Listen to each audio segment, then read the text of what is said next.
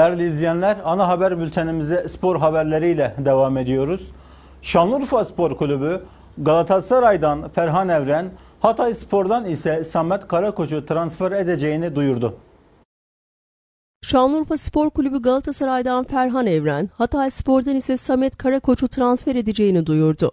Yeni sezon hazırlıklarını sürdüren Şanlıurfa Spor, bugün kulüpte düzenlenen imza töreniyle toplamda 15 futbolcuyu renklerine bağladı.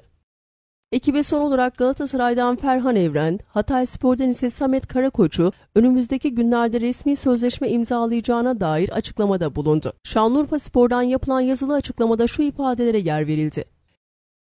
Yeni sezon için bir hayalimiz var diyerek transfer çalışmalarını sürdüren kulübümüz Galatasaray'dan Ferhan Evren, Hatay Spor'dan ise Samet Karakoç ile prensipte anlaşma sağlamış bulunmaktadır. Her iki futbolcumuzla önümüzdeki günlerde resmi sözleşmelerimize imza atmış olacağız.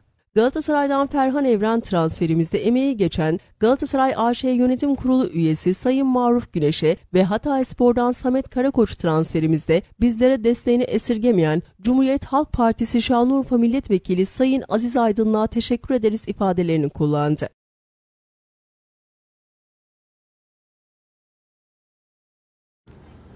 Değerli izleyenler, bu akşamlık da ana haber bültenimizin sonuna geldik. Yarın akşam yine saat 19.30'a 19 görüşünceye dek şimdilik hoşçakalın.